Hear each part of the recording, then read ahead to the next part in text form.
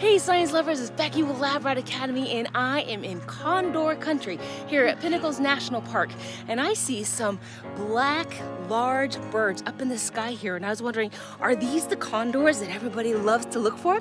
The way that I can tell whether this is a condor or a turkey vulture is because the wingspan of a condor is 8 to 10 feet wide from one tip of the wing to the other.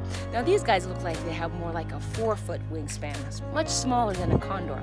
So these are not condors, these are turkey vultures and they're coming up on this hot updraft and they're circling around.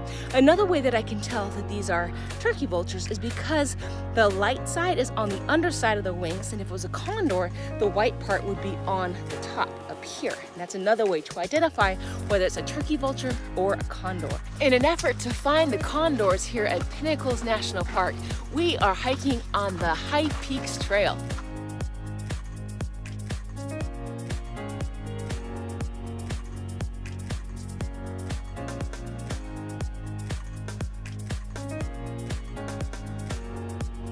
So at the Pinnacles Science Camp, I learned from the naturalist that the turkey vultures have the lighter color on the bottom of their wing, and the condor will have the white stripe here and black down here.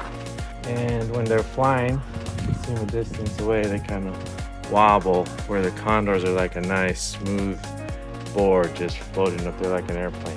Kind of hang out the afternoon heat to get the thermals to rise up on these cliff edges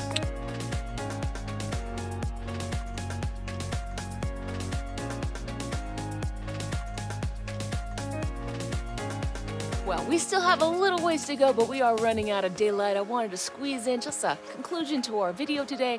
We had a beautiful hike. We saw some turkey vultures, we saw some ravens, we saw a tiny little glimpse of a condor. That was so exciting. It is so beautiful up here. I hope you guys get a chance to check out Pinnacles National Park.